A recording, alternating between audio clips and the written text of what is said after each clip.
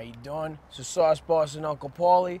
Making a little sausage and peppers our way, Little afternoon agita and we're making it. with Monte's.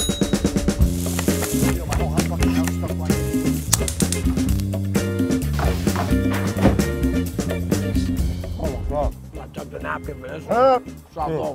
What's up, everybody? Beautiful Hollywood. Little sun. We're doing sausage and peppers. Sausage and peppers was a staple every Sunday. Grandma, grandpa always had it just, you know, marinating on the stove. We grew up smelling it, San Gennaro. It's gonna bring us back to, uh, you know, our youth. Okay. It's a little amuse bouche. Go in there at three in the afternoon, grab a little, grab a little piece of bread, throw some sausage on it. There's two distinct smells in New York. Well, three. You got nuts for nuts, and then you get the sausage and peps. You know, it's just like True. before you make it up the driveway to Yeah. the party or something. Yep. Somebody's grilling sauce and your peppers. You just Exactly. smell it. It's just in the air. Let's take this to the stove. We're gonna saute peppers, all three colors, with the onions in the pan.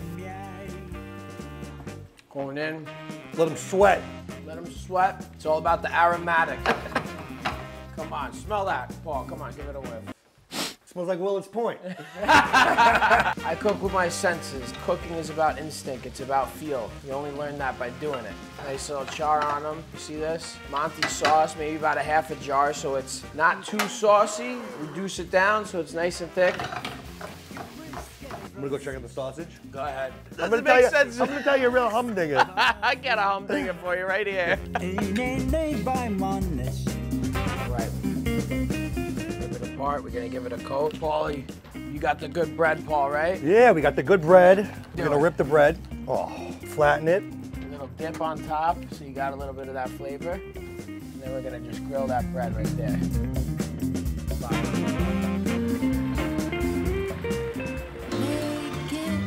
Have to keep the living, baby. Charge to the game.